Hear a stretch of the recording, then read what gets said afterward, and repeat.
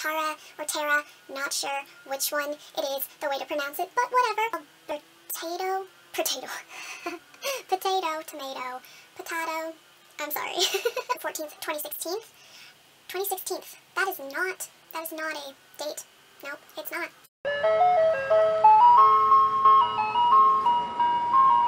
Hey guys, it's Jay and today I am here with my most anticipated June releases. I have a total of six books. But one I'm kind of confused about if it's released in June or July, so I'll talk about that when, you know, I get to that book. Without further ado, let us get started! I tried to pick some like not as common books as I do in all of my most anticipated videos. Because, you know, talking about the same books as all the other people just gets repetitive, so hopefully you can find some books that you haven't actually heard of in this video. So the first book that I'm very excited about is called The Leaving. It's by Tara Altebrando and it's supposed to be released June 7th, 2016. 11 years ago, six kindergarten students went missing and now, several years later, five of them return. And Scarlett and Lucas are two of these children, and they are now 16 years old, and they don't remember anything about what happened for the past couple of years, except they do remember each other. The sixth victim, Max, did not return, and his sister Avery wants answers, and she's not exactly believing Lucas and Scarlett about not remembering everything. And that's all I really know about it, but it's apparently a thriller. And your girl love herself some thrillers. Basically every book on this list is a thriller because I can't get enough thrillers. I just love them so much. I just think that the concept of this book is super cool and I love abduction stories. I know I'm weird and I find these things interesting.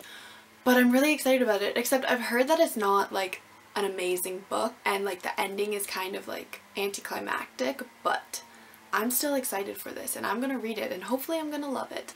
But I'm to read it like way down the line because as you all know, your girl is cheap. Uh, she only goes to thrift stores. The second book that I'm very, very, very, very, very excited about, I'm actually so excited about this book, is called With Malice by Eileen Cook and it's supposed to come out on June 7th as well. This book follows 18-year-old Jill and she wakes up in a hospital room and she is not able to remember anything from the past six weeks. She finds out that she was in an accident that took her best friend's life, but she can't remember the last six weeks, so she doesn't know what happened. And then she discovers that the accident might not have actually been an accident. And I just it sounds so cool and I just need it and I need it in my hands so I can read it and be like, what the heck happened? Like what, six weeks? Has she been in the coma for six weeks or is it like she just doesn't remember six weeks or like what is going on? I need to know and I want to know if she like murdered her or something. I just need to, I need it in my life. I need it in my life. The third book that I'm very excited about also comes out on June 7th and it is called Julia Vanishes and it is by Cathrine Egan. Or Egan. I don't know how to pronounce authors' names, I'm sorry. But this follows Julia who has the ability to go unseen and this isn't like invisible but she has the ability to like go beyond people's normal senses so she's there but they don't sense her and she's a spy and a thief. She gets hired for this job of crime and she starts suspecting that the trail of bodies being left around the city are actually from the people who hired her. Basically her story of trying to like get out of the job but she's so involved in the crime that she can't get out or something like that. That's what I'm getting from the synopsis but it sounds so cool and like I'm just saying how cool would it be to be invisible to other people. But like you could just be chilling there like yo I'm totally listening to your conversation and you have no idea. Talk shit, get hit, bitch. I should edit that out because that's bad language. Sorry, children. I'm sorry. Plug your ears, earmuffs. Don't listen to my potty mouth. The fourth book that I'm very excited about is called How to Disappear and is by Ann Redisch Stampler and it's supposed to come out June 14th, 2016 and I don't really know that much about it but the blurb sounded so cool. It basically just said that it's about a girl named Nicolette who witnessed a murder or she may have committed the murder and the boy who's trying to kill her. And I'm sorry, but that just sounds so freaking sick. I need it in my life. I want to know, like, did she witness it or did she actually commit the murder? And, like, who is this boy? Who is this boy trying to kill her? And why is he trying to kill her? Like, is it because of the murder? I don't know because I don't have the book, but I want it. Fifth book that I am anticipating for this June is called The Darkest Lie by Pintip Dunn, and it's supposed to come out June 28th, 2016. It follows a girl named Cecilia Brooks and she and her mom shared everything. Which your girl can relate because I love my mama. My mama and me are BFFs forever. She shares everything with her mom and then her mom ends up killing herself after the accusation that she slept with one of her students. So Cecilia's senior year is just starting and she decides that she is going to work at the crisis hotline that her mother used to work at. So when she's counseling these troubled teenagers or people, she discovers that the truth behind her mom's suicide may not be exactly what she thought it was. With the help of a new student named Sam, Cece starts to put together clues about a terrible twisted secret involving her mom. She soon realizes that finding out the truth is not only about restoring her mom's reputation, but also about saving lives, including her own. And I'm sorry, does that not just sound so cool? I need to know what the secret is, and I need to know why Cece's life is in danger, because, like, bruh, you're just, like, hotline. Why are you in danger?